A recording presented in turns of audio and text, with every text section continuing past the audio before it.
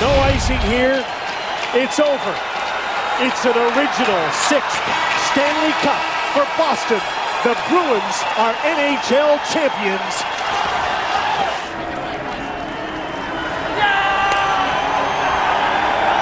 We're on the fly at the Stanley Cup Final presented by Cisco from Vancouver, where the Boston Bruins have won the Stanley Cup. They break through on the road and celebrate in the visitors' locker room in the grand tradition of the National Hockey League. And they are rejoicing back in Boston. The Bruins wanted to play here like they did at home. Was there something in the water? Well, they brought some garden ice with them just in case. Could Roberto Luongo, though, keep his home ice form? Here's an early save on David Krejci. This is an unbelievable save right at the start of the game. Had the potential to be a game-turning save by Roberto. Seemingly down and out and oh. reaches back and breaks the heart. Thomas like. Yes. Never give up. Never yes. give up. Great save. Two serious injuries in this series, so it was terrific to see Mason Raymond, even with that back brace on, back here to salute the crowd. Great scene. Yeah. Great crowd scene. response was fantastic. Now, the first goal has been critical in this series, and Boston struck first. Patrice Bergeron with a little help from his friends. Well, true to form, that first goal does end up pulling up, but Patrice Bergeron gets the face off, goes to the front of the net. Roberto Luongo not sure who's going to get it on the stick just like a golfer to whack it home, break his stick, break his golf club on the tree, heel it into the far post. What a, what a goal. Tim Thomas made 37 saves. There's one on Ryan Kesler. Ryan Kesler maybe had his best game of the series. Was absolutely flying, but there's just nothing to shoot at. You want to look high, you want to look low. He's covering all the spots. A 1 0 game into the second period, and Brad Marchand was just feeling it. You know, he, he made a great play on the first goal. The second one, again, faceoffs are huge. They're huge, and he does a great job of shimmying, keeping his feet moving, driving the net. He beats Luongo, but he doesn't beat the post step. How about Zdeno Chara? I think he's made two saves in this series. I don't want to be Hamlet or Macbeth or anything, but he giveth and he taketh away. what a play by Zdeno Chara. Nice recovery, comes to the front of the net, Tallest goalie in the NHL history. Nice butterfly. Great save. Marchand may have hit the post on the last chance, but he doesn't miss on this one. How about the plays he makes to come around the net? What a battle level on this guy. Just senses it. Got great sense for the game. Luongo gets her, makes the initial save, and he bounces in. But look at this tenacity. That Wolverine, he's finding the puck. Great. On his backhand, no less. But what a moment the kid's feeling in Game 7. It's unbelievable for him, the way he played all playoffs in, this, in the series. An exclamation point on Game 7. That's his 10th of the playoffs. Now at 2 0, Vancouver needed something good to happen. Instead, they give one up shorthanded. This is how you protect a puck. Patrice Bergeron is getting caught by Christian Ehrhoff. He knows this. Throws that left leg out there, protects the puck, crashes into Roberto Luongo, knocks it in with his body. They reviewed it, but very quickly, clearly, they called it a goal on the ice. Nothing to reverse that upstairs, and that was effectively the ball game to the third period, and Tim Thomas stayed perfect. A big save here on Daniel Sedin. Yeah, they had only one outnumbered chance. That was it. Daniel Sedin figuring he's the best guy to take the shot. It was one of the few turnovers that Boston had. But Tim Thomas was equal to the task. The Canuck players did not drive the net, and if you don't get in front of Tim Thomas, you're not going to score. With under three minutes to play, with Roberto Luongo on the bench, it's Brad Marchand with an empty netter. There's the exclamation point. He brought a lot of heat on that wrist or two. And you see the jubilation on the Bruins bench. And Timmy squared in the net. Almost gets scored on there. That was the only time a puck almost got by, and they wanted him to have it for a souvenir. Wouldn't so, have counted. But that wouldn't have counted. Uh, buzzer had gone. And the handshake line, so much respect between the guys on both teams. And Tim Thomas wins the Conn Smythe. He becomes the oldest player to win it. And Zdeno Chara, the joy as he lifts the Stanley Cup. The greatest moment in hockey right there. The captain getting the trophy, all the weight in the world, off the shoulders and the biggest shoulders yet to raise this big silver shiny thing. That thing's 12 feet in the air right there. and the team photo for the whole organization to celebrate. And the last four cups have been celebrated on the road. Detroit, Pittsburgh, Chicago, and now the Boston Bruins. Tim Thomas admitted that he had some nerves and actually was scared at a certain point during this game, but he didn't play like it. And here he is after winning the cup. It's an outstanding moment here. Greeting family, greeting friends over there. What does it mean to you, not just to win the cup, but to have them in the presence and be able to share it with them? It, it means it means everything. It's it, you know, I'm so happy that they were able to make it and we were able to, to get the job done. Um, you know, I've been dreaming of this since I was a little kid, and uh, it's, it's, it's just awesome to um, let them share it with me. Everything you thought it would be, Tim? Uh, it def it is, but it hasn't set in all the way on me yet. It's kind of surreal.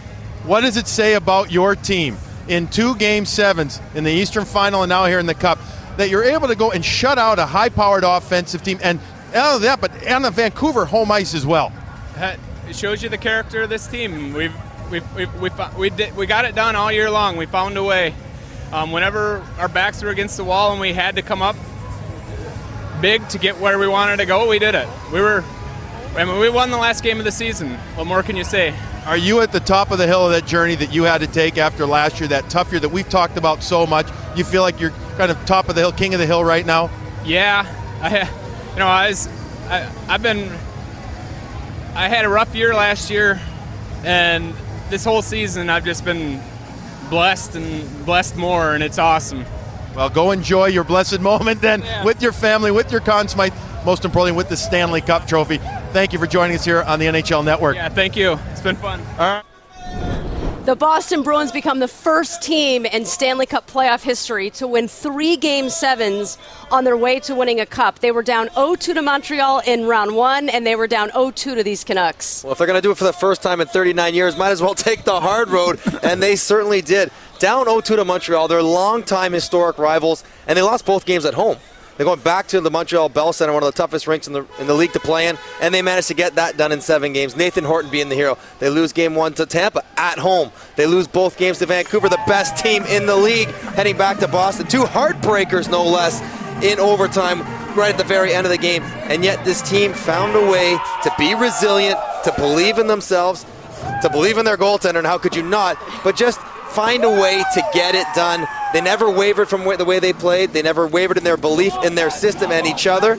And here they are finding themselves with the Stanley Cup, understandably celebrating hard in the dressing room. as they should. That spoke B, you're looking at a big Z, stands for belief, as you said, Mike. And it is true to form from top to bottom. These Boston Bruins, this franchise that hasn't won in so long, stuck to their game plan season in, season out, and all playoff long this year in 2011. And what else can you say about these guys? The way they, the way they played, the resiliency. You're right, Mike. And I'll tell you, the Timmy Thomas show, the saga, the history of him comes to fruition tonight. And listening to him speak after the game to Billy Jaffe really gives you shivers and you think about the process that he's been through and the belief, the B that was on his chest, the, the way he thought about um, this whole game, about himself and how he got to this point. So Tim Thomas becomes the first goalie in Stanley Cup final history to pitch a shutout in a game seven. It had never happened before, but he gives up eight goals in the series. Eight goals in a seven game series as the Conn Smythe winner, which really takes you through the whole playoffs. It's 16 to 9 his record of goals against under two, four shutouts. He sets a record for most saves in the final, most saves in a single postseason. And the old guy, he becomes the oldest Conn Smythe Trophy winner ever. Hey, what Usain Bolt did in the world of track and field at the Olympics is exactly what Tim Thomas did here for goaltending. This number is off the charts. Almost a 970 save percentage. In a Stanley Cup final, you're going up against the one seed, the best team in the league in the regular season in every facet of the game. And all you do is stone them. He made 37 saves again tonight. Such a unique style. I think that Timmy is going to redefine the way the position is played. There are always a lot of trends in our sport in terms of style of play, systems, you name it. I think that Timmy Thomas has opened some eyes and perhaps maybe opened some minds with people as it regards to the position of goal. Yeah, well, you can only hope so because the way he played and the way he played in this series was just, I mean, it was such a phenomenal road, and you couldn't help but cheer for for Timmy Thomas today. I mean, winning that Conn Smythe, not knowing what to do with it. you know, he never he never thought about what he was going to do with it because that's the kind of zone he was in, the mentality that he had. He didn't care about the end of the game. He only cared about the journey, the process, and winning these trophies.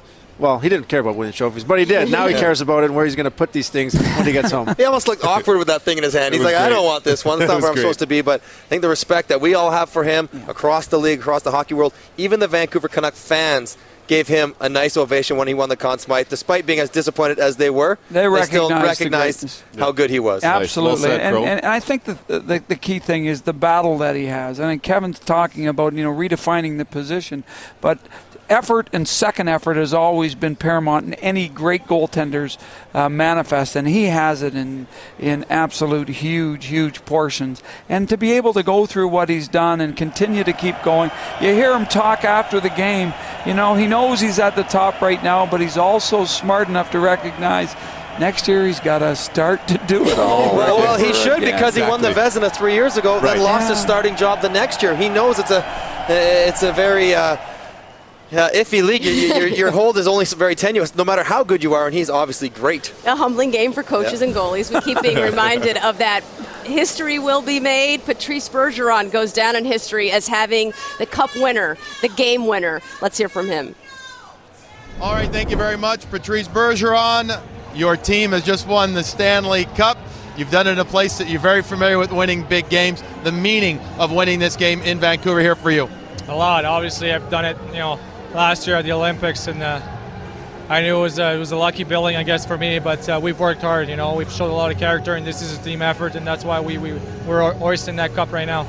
What did it mean and say for your line to come through so big? I mean, Marchand, who got so good as the series went on, Recchi, who really started coming together as well. He was not happy with his play early on, but your line clicked when it mattered most. Yeah, you know, we told ourselves before the game that we had to step up.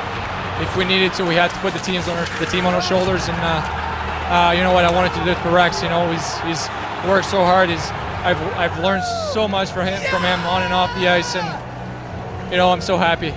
You've seen all of the other Brew- or Boston teams celebrate in in Boston. They've, they've had a great run there. Now it's your turn to celebrate. What does it know? What does it mean to you to know that you guys are going to be on the duck boats going around the city and they're going to be celebrating the Spoked B Championship? Means a lot. Obviously, you know that was a great challenge for us, and uh, you know we knew that uh, Boston's a sports sports town, but also a hockey town, and I'm sure it is back now. We've talked about some guys on your team, Patrice, that have had some journeys to get where they're at. Tim Thomas, Nathan Hort, you're included in that as well due to your injuries and everything. Has to mean that much more to know that you have reached the pinnacle of your sport. Oh yeah, I mean this means a lot. Uh, I've always believed that I could do it, I could come back, and uh, I had the confidence. And uh, for Timmy, I mean, it showed so much character his whole career, and this is amazing. You've earned it. Go enjoy it. All right, thank you. Patrice Bergeron. Patrice Bergeron and Brad Marchand both had two goals in this game seven. And for the rookie, he's now second, tied for second on the all time list. Most goals by a rookie in one playoff season. He's with Billy Jaffe. And a good friend of NHL Network and NHL International, Brad Marchand, here. I mean, all of a sudden, goals in four of your last five games. Holy scoring outbreak. what the heck happened? I don't know. I think a lot of it was just uh, great plays by Bergie and Rex and the team. I was able to capitalize. What is it about big games that gets Brad Marchand not just going, but you come through for your team? I don't know. I know. I just I love being part of the action, and you know I think everyone wants to make a difference, and you know I just got a couple lucky bounces. That's all. What does it mean to know that you played with Mark Recchi? We haven't heard the official oh, announcement Oh, yeah. yet, but assuming he stands by his word and he doesn't pull a Brett Favre and come back, that he doesn't retire, or that he, that he retires. What does it mean to you know that you played not just on the same team, but on the line? Yeah, he you know obviously he's one of the best players to ever play the game, and it's just an honor to know him and as a person, and you know having the opportunity to play with him, it's it's such a pleasure. You know he's had such an outstanding career. I grew up watching him play, and you know have the opportunity to play with him. It was amazing, and you know I learned so much from him. He's such a great guy, and I love him. Go enjoy the moment. Thanks, oh. Brad. Thank you. You've called him a Falcon, the Wolverine. Now he's a Stanley Cup winner. the whole time. Johnny called him a Falcon because Johnny played at Bowling Green. I call, I called him the Wolverine, and not because he played at, at Michigan either, but Typically, Michigan's going to win this one. yes. but you gotta love this guy. I mean, you know the way he's come in and played and asserted himself and stepped up to the moment. I really love what he said about Mark Recchi though, because Mark Recchi has really had a big hand in shaping this young guy and his maturity and what it means to play little things on the ice, off the ice, and you see it in his game. I mean, he plays with a lot of tenacity for being an undersized guy. I mean, obviously it's a huge comparison, but I think Mark Recchi's had a great influence on him. When he just said that he loves him, and he genuinely sounded that he really feels that way, Bro, that, that was a great sentiment. I love that. Yeah, and, and I think probably the sentiment is shared by Mark Recchi. You know, sometimes when you got the old legs like Mark Recchi has, you need that youthful enthusiasm. And at the start of the series, it was all about the Canucks speed. And at the end of the series, the Bruins wore them down, and it was the speed of people like Brad Marchand, of people like Peverley, of people like uh, Bergeron, who ended up really being difference makers for the Bruins. And those young legs that Marchand had, they spurred on a very aging and cagey veteran in Mark Recchi. Full marks to, uh, to Mark Recchi for molding that group together and, and making them mesh. They really had everything in that line, and they came up with the big game when their team desperately needed scoring here in the final game. And what a what a wonderful uh, way to finish your career, winning a Stanley Cup championship. As much as Mark Recchi will always remember it, so will Brad Marchand. Zdeno Chara, the captain of the Boston Bruins, had the honor of lifting the Stanley Cup first. Let's hear from him. Definitely the tallest and definitely the happiest captain of the Boston Bruins ever to raise a Stanley Cup. Zdeno Chara, congratulations. What are you feeling right now knowing that you are Cup champions? It's uh, it's amazing feeling. All the hard work paid off. Uh, you know, we uh, we had such a uh, rough and hard season. We uh, we overcome so many uh, uh, different uh, and difficult obstacles, and uh, we we hang in there. And it was such a hard and, and long playoff run, and obviously we came out uh, uh, big tonight, and uh, we just earned it. Your team in two, the last two game sevens, shut out the opposition. What does that say about your team in crunch time? we were we were really focused and uh, determined uh, and really pay attention to the details. Uh, you know, everybody pay, you know paid the price. Everybody bought into our game plan, and uh, you know we just play really simple and hard and try to win every battle and every race. Thank you very much. Enjoy the moment. Congratulations. Thank you. He eats up minutes, he drinks champagne. Zdeno Chara and the Bruins are champions. So, from the sweet taste of victory, we go from one extreme to the other, and a bitter taste for the Vancouver Canucks. Here's Alain Vigneault. You know, our guys uh, were ready to play. Uh, but you know, at the at the end of the day, I'm, I'm not going to get into you know big. Uh, not going to analyze this game right now. You know, I think we're uh, everybody's disappointed. Uh, our players uh, gave it their best shot, and at the end of the day, uh, you got to give credit to where credit is due. And uh, Boston played a real strong game. They got great goaltending, and they were able to score a couple of tough goals around our net, and they deserve to win. Next question, follow up. Is there a turning point in the series in your mind? Uh, I can't see one right now. Uh, you know, at the end of the day, I think both teams competed real hard. Uh, we had played well the first three games in this building, and um, they had played real well in their building. Came down to game seven, and uh, you know we weren't able to get it done. Obviously, uh, didn't get the job done in Boston, but um, you know, all in all, uh, um, we lost. So I mean, it's tough to analyze something like that. You had uh, a great uh, triumph here last February, uh, Roberto. Is this the irony even harder to take losing on this ice like this? I don't know. I mean, I'm not really thinking about that right now. I think uh, you work hard all year to get here, and that's that's the, the bottom line. I mean, uh, no matter you know what the outcome is, uh, if you lose, it's going to be devastating. And uh, you know, with two great teams playing, and uh, one team had to win, and unfortunately, it wasn't us. It's tough. You know, I, I really thought we were going to win, and you, know, you can't. I can't put in the words right now. So bitter disappointment on the Vancouver side. You can see the emotion on some of those faces. Let's go Roberto Luongo first. His struggles in Boston well documented. How do you think he played here? Where does he go from here? Well, Roberto Luongo certainly his how he's played his whole life has been well documented, and ever since he's been in Vancouver, we're talking about you know what steps he's made, what good things has he done, what bad things has he done, and no goaltender's been more, more scrutinized than Roberto Luongo in the National Hockey League over the last 10 years, and he has grown certainly as a human. He's certainly grown as a goaltender. And this year he made some changes to get to, to be better. And, and that's what you like about Roberto Luongo is not settling and saying, you know what, it's good enough. It's good enough what I do. And this summer it certainly isn't going to be no different. Any great goaltender knows you always got to look yourself in the mirror and ask yourself how you can be better. And for Roberto Luongo, you know what, he's got to be proud of the, of the way he handled himself, the way he handled um, his play, coming back after some bad outings with some great outings. Um, certainly, there's things that we're all going to change at the end of the day, but uh, this guy played in the Stanley Cup Finals, took his team to Game Seven, couldn't get the job done, uh, but he answered the bell, and certainly he's going to come back for the Vancouver Canucks as strong as ever next year and try to answer the bell again. Exactly. Big picture. When you look at it, you have to say, okay, well, he was a Vezina he's a Vezina finalist. He won the Jennings, and he's a Stanley Cup finalist. Now, he didn't really have his A game for the latter part of the Stanley Cup finals, but all things being considered, that's an unbelievable year. He'll certainly have to make some adjustments, and he'll learn some lessons, some tough lessons, too. So I think he'll be able to take some positives out of what right now is a very bitter pill for him to swallow, but he did play in the Stanley Cup final. I and I don't think anybody can understand the type pressure that Roberto Luongo oh. has been under. No, you can't walk in someone else's shoes and be able to say,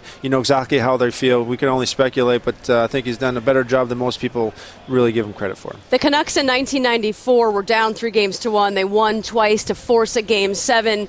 How is the feeling different for this group of Canucks and for the city this time around? Well, the one thing that I would say, Deb, is any time you lose, whether it's in the first round or uh, in the Stanley Cup Finals, it's disappointing. And and this is disappointing.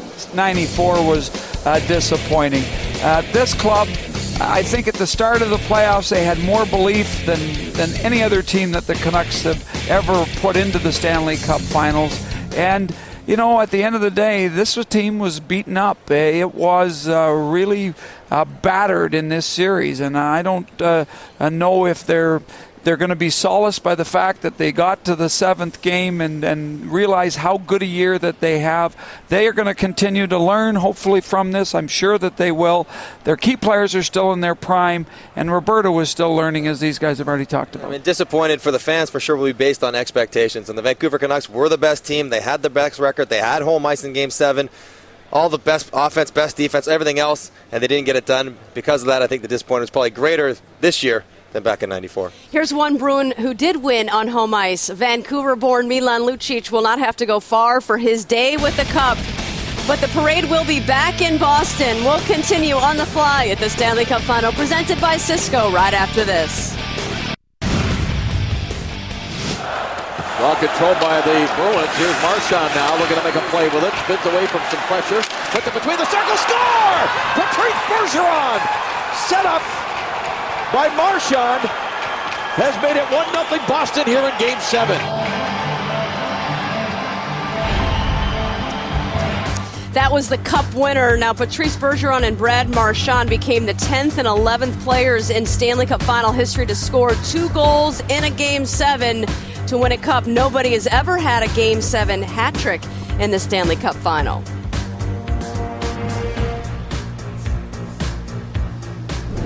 Time now to man up with Miller Lite, and we're talking power play. The Vancouver Canucks had just two power play goals in the series coming into tonight, and the Boston penalty kill shut them down again. It was one area in this series we thought Vancouver would have a decided advantage with being on the power play and in the special teams battle, and that certainly was not the case. The Boston Bruins were very good in all areas of their penalty kill. You have to be to keep the Vancouver Canucks down to two power play goals in a series. They were good when they were down in their own end, which didn't happen that often. Always in shooting lanes, always willing to block shots. But they also made it very difficult in the neutral zone for the very highly skilled Canucks to enter the zone cleanly and get set up. Something that they did with ease during the regular season, they struggle with now. When you see all the layers of the shot blockers, two certainly every time, three players at times in front of Tim Thomas. Good on the clears, good communications, quick changes, winning faceoffs, all the stuff you need to do to be successful. And then you factor in they gave up two goals, but they scored three shorties. They were plus one when Vancouver was on the power play in the series. And for the Vancouver Canucks, they will look at this stat along with many others, most, most likely Tim Thomas' save percentage, as the reason they could not win this series. They just did not get it done on the power play. Yeah, I don't think you can say enough about the Bruin defenders too. Like Chara was in the penalty box for one of the penalties tonight, but he was a horse in front of the net. They didn't allow the Canuck great forwards, the Sedins, Kesler, uh, Burrows. They didn't allow them to become a factor in and around the net. They were never allowing second chances. And as good as Tim Thomas was, the people around him just fended people off so so well. They paid the price. They had great sticks, and they really battled hard to box out and keep people away from that very coveted area around the net. The Vancouver Canucks certainly they weren't the best five on five team going in the series. We thought they had the best power play, but they should have had a better five on five mentality on their on their power play. And I think just that forced the Boston Bruins with that tenacity to really shine through and let Timmy Thomas be aggressive because they know the support system around him was so great. I think there was a lot of carryover from Boston's penalty kill and the way they defended five on five at equal strength. They did a great job that way. Tremendous pressure, great sticks in the lanes, good job denying the Canucks to get comfortable and get space and ice. Outstanding work by the Bruins. Crow, now you know I hate doing this, but you have to give the coaches of the Boston Bruins a lot of credit for the pre-scout, for the preparation. Oh, yeah. Boston was very much on the same page when killing penalties. And they they made uh, great adjustments as they went Yeah. along in the series. I thought even tonight, you know, where they were having the double swing uh, tonight, they, they they changed it up and it really gave the Canucks some trouble. Let's look at some more numbers as we wrap from a game seven. The Boston Bruins in game seven 0 for 1 on the power play, but they didn't need it. The Canucks 0 for 2, and it cost them. Miller Lite Man Up is brought to you by Miller Lite.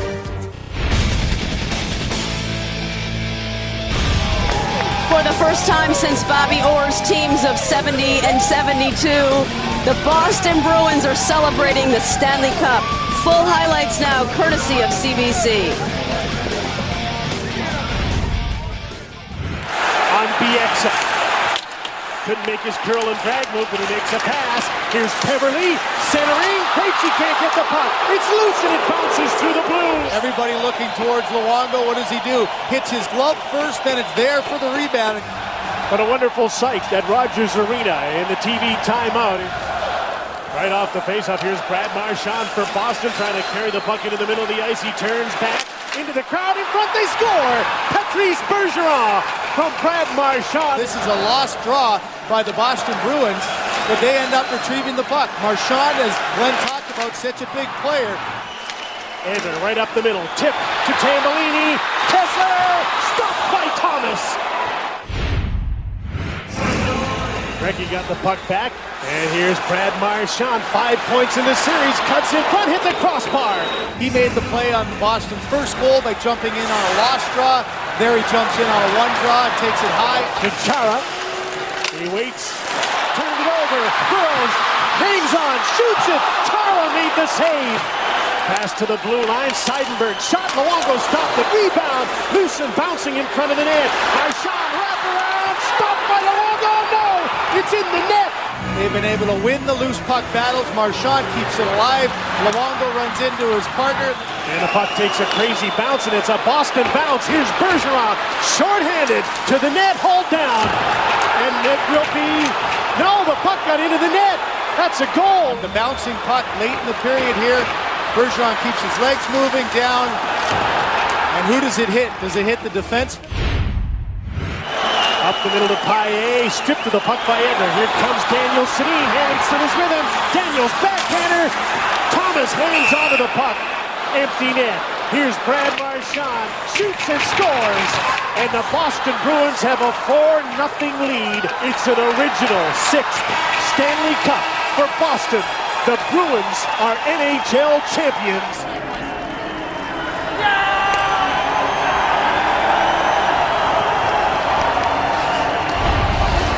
It does end as a 4 0 shutout. Now, Nathan Horton wasn't able to play after suffering a severe concussion in Game 3, but he was a big part of these playoffs. Two Game 7 game winners to propel his Bruins here to the Stanley Cup final.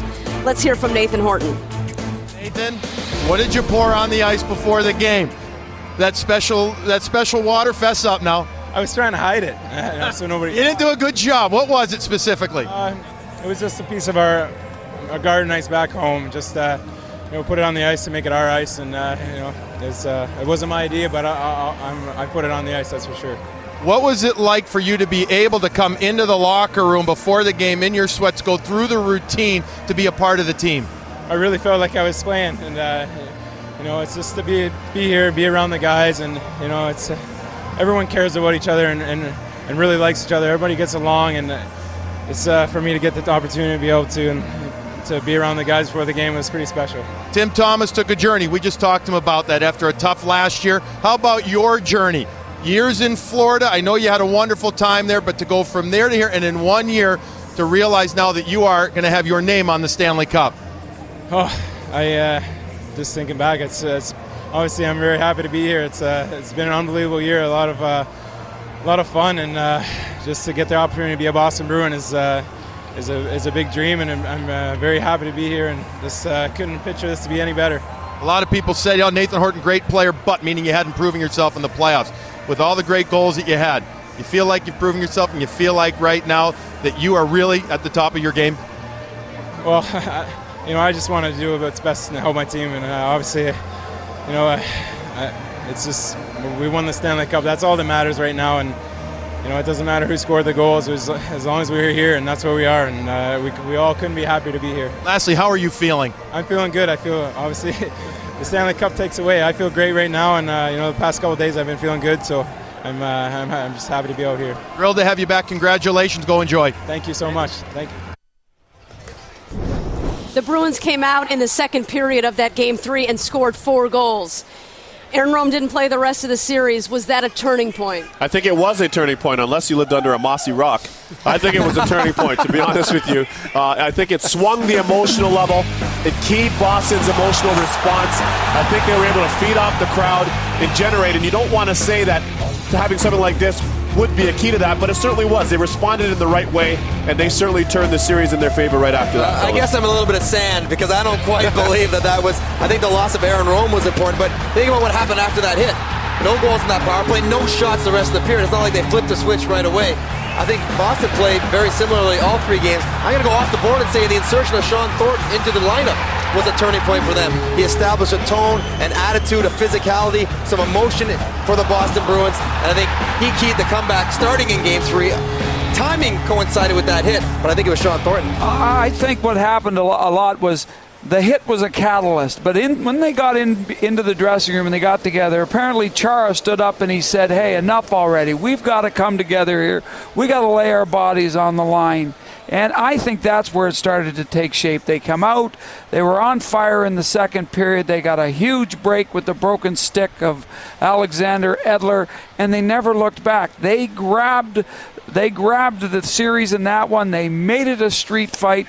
The Canucks bit and they played that game. They were not good as, as, Boston in the trenches and those battling type situations, and that's where they got themselves back in the series. But after all that, it went they went up three two the Vancouver Canucks after after game five, and then Luongo said what he said about making a save that Tim Thomas didn't, and I think they the got smaller, them back in the trenches I, again. I think yeah. in the smaller series, those comments certainly hurt them in the end, hurt him going back for Game Six, and could have been a, a, another turning point. But they they all were turning points, and momentum is huge, and that didn't help.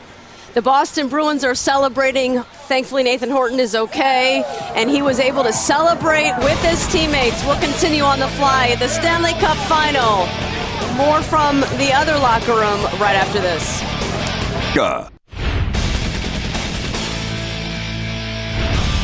Alain Vigneault and the Canucks beat Chicago and Nashville and the San Jose Sharks, the best the West had to offer, but they couldn't get past the Bruins. So we have a great group in here, and uh, there's no question we're going to get back uh, next year and be hungry. I mean, when you once you've been here, you want to get back uh, so bad because it's been a fun fun ride, and uh, like I said, we're a very tight group. From game game one of the playoffs uh, till game 25, wherever this was, it's it's just tough every game, and that's uh, it's a roller coaster ride. It's up and down, and I mean that's one thing we learn. You gotta. I thought the whole team has done a great job of just uh, leaving all the distraction out of here, and we, we focus on just being a tight group and, and working working together, and that's that's how we got to Game Seven, I think. Really proud of this group. I mean we've been battling through a lot of adversity throughout throughout the year, uh, injuries, uh, other stuff, and uh, we've been sticking together as a team, and we're not going to change that uh, right now. I mean, we uh, we battled hard. We didn't uh, come up with the win, and it's really disappointing. Uh, we came out extremely hard in the first, and we had a lot of chances to score goals, but again, uh, couldn't beat Thomas. They get uh, as a team, you get a lot of momentum from that when you you see the other team uh, they can't score, um, uh, and then it's um, we, we kept battling, but uh, they they got the chances. Maybe the only thing harder than getting here is getting back. How is Vancouver positioned going forward? Well, they're positioned very well. They have uh, some key free agents on defense. They're going to have to make some big decisions uh, between Bieksa and Ehrhoff. Hopefully, Sami Salo would come back, maybe give them a little bit of a hometown uh, discount. But I think this playoff showed you that with the injuries that they had, their depth got tested to the greatest degree. Uh, they probably would like to add a top six forward to add to those top guys at the at, at the top end, the Sedins and Burrows and uh, Kesler. But the, their big decision will be on defense. The biggest one of all will be the goaltender, and I'll throw that one to you guys. you can beat that one up. Uh, I think the big decision is Bieksa or Ehrhoff, too. Both guys will be very highly sought after this summer at the free agent market, and they need to add a top six guy uh, to, to augment those top end guys. The goaltending situation, they have time. They have a great chip to play, whether it's Luongo or Schneider. If they choose to do that, both are very valuable assets.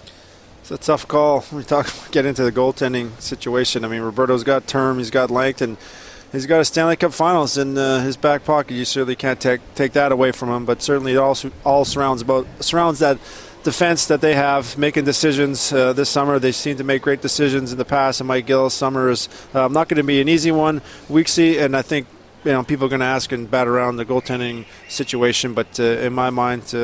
These guys are going to come back. I mean, I don't know if Schneider will be here or not, but it'll be interesting to see how it all plays out. But uh, it's a learning experience for everybody. Uh, they have them, some decisions to make and some uh, anger to sort out. Defense will be interesting. Goaltending will certainly be interesting. They're in a position of strength there.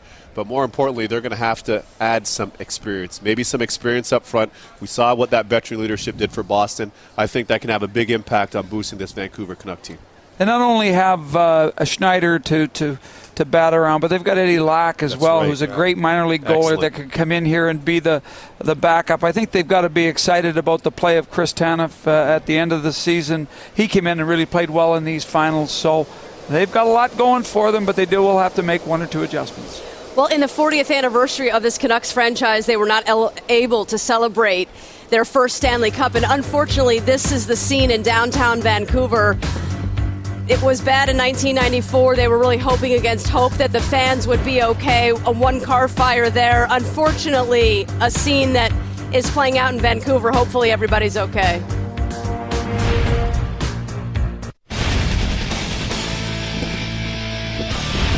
Claude Julien started these playoffs coaching for his job. There he is, lifting the Stanley Cup.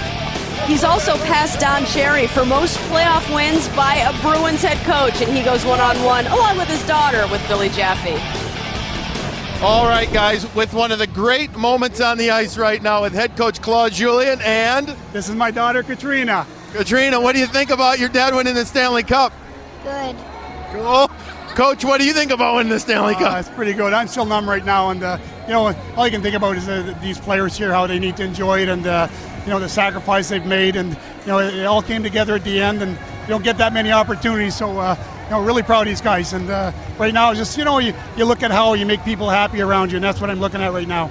You told me before the game that you need a little more oomph tonight getting to the front of the net. You didn't get a lot of shots, but how happy were you with your team's pressure and their physical play? Something they hadn't done enough of previously. Yeah, exactly. We had to play to score some goals a little bit more, and defensively we thought we were fine, but uh, offensively we had to find ways, and we did. Is there a better goalie in the world right now than Tim Thomas? No, I don't think so. And I mean, there's a lot of good goaltenders that deserve a lot of credit, but right now Tim stole the show, and uh, he's deserving of everything that's happened to him. Lastly, coach, listen, no everybody knows last summer it was tough for you personally, your team after they lost to the Philadelphia Flyers, but the resiliency that you showed has got to be extra gratifying to come back, change your ways a little bit, change your forecheck a little bit. What does it mean to you to be able to answer to those so-called naysayers? Well, I, don't really, to be honest with you right now, uh, there, there's not much thought going into that. You got to believe in what you're doing, and we believed in it, and most of all, our players believed in it, and that, that was that's what was important, and uh, that's why we kept moving forward with the way we were playing. And uh, obviously, right now, we know we got the, the end result. A classy man. Go enjoy the moment, Claude Julien, along with your family, and we appreciate you taking time on the network. Thank you. Thanks a lot. Appreciate it. Nine players on this cup winning team were part of last spring's exit, in which they were up 3 0 on the Flyers and went on to lose in seven. Peter Chiarelli made some shrewd moves to get all the way back. How are the Bruins positioned? Their position great. I mean, they made the big trade for Kaberle. As much as it's been criticized, he was a fairly important factor for them in this playoffs. Mark Recchi is going to go to retirement, a, a winner. Michael Ryder is the big one. He's really positioned himself in an A1 position heading into the free agency uh, period. Uh, the Boston Bruins are in great shape. They have some youthful players that have really come into their own, and they're going to be very good for years to come. And Tim Thomas has already signed. Now, Mark Recchi has officially announced his bad. retirement, but what a way to go out. With Mark Recchi. And before we ask the obvious question, how the heck you feeling? You realize you've just won your third Stanley Cup. You're out here with your friends, your family, your teammates. How you feeling? incredible. What I, this is what I came back for, and uh, to get realize that dream again is. You know, it never gets old. I'm going to tell you that. It's just uh, it gets better and better. And Brian Sarache told me that a long time ago. That everyone got better and better, and uh, he's right on. Listen, everybody starts the Mark, believing we have a chance to win the Stanley Cup. But would you have come back if you really didn't feel it in your bones that you would win it? You know what? No, I wouldn't. I wouldn't have come back. I, I- but I believed. I had a great conversation with Peter Chiarelli last year at the end of the season.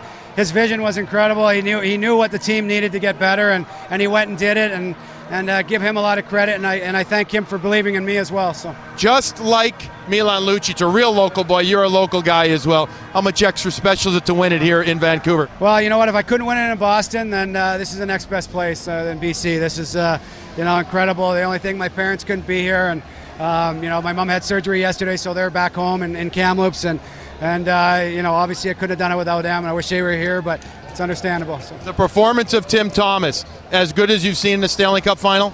It's as good as I've seen all year, eh, from from day one to the end of the year. I've never seen somebody so consistent and never had any downs the whole year, and it was amazing what he did. So. If you were wondering who Zdeno Chara would hand off to first, it was 43-year-old Mark Recchi. We'll continue on the fly at the Stanley Cup Final right after this. The Bruins end a 39-year wait with a 4-0 shutout win here in Game 7. All the scoring from this one presented by freescore.com.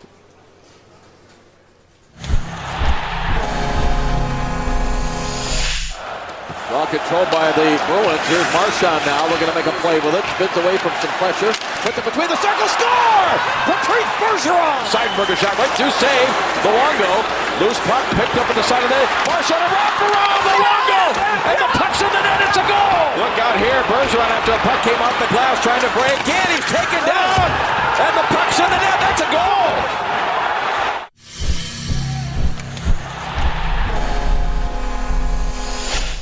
And time now for our total hockey impact play of the game. Boy, he's been so tough in these kind of situations, protecting the puck, stopping on a dime. Seidenberger shot right through, save.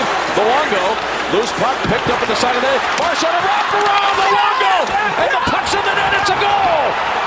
The Boston Bruins have a 2 0 lead, and once again, it's Brad Marchand that makes the play.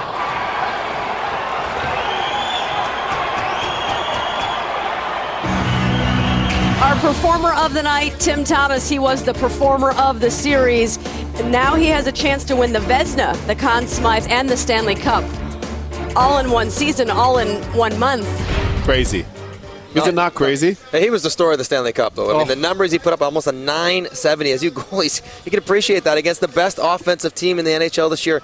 He was unbelievable, exciting, thoughtful, and articulate at the, at the podium. A leader on the ice, smiling when things went bad, smiling when things went well.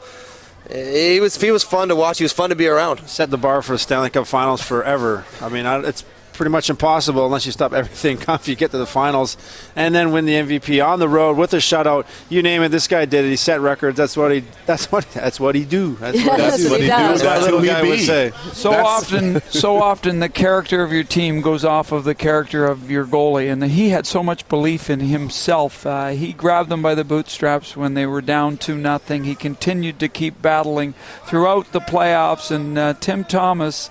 I mean, he's a fighter. What can you say? He gives effort. He gives second effort. And Oh, look at uh, that jacket on the Oh, cup. there it is. He's wearing it. That's, hey, that's money well spent on eBay Way to right go, there. Ferentz. Good that's call. twenty-five dollar investment money could buy right there. That's a great shot. That's a great shot. And let's give it up to Mark Recchi, capping off a Hall of Fame Oh. career, playing a prominent Oh. role all the way down to the wire, leadership, getting it done on the ice. Fantastic for him. What a warrior, 43 years old. Where he gets the energy from, I do not know, but congratulations to Mark Recchi. Yeah, congrats to everybody. Boston Bruins tonight. Congratulations to the Boston Bruins. They win it in a game seven.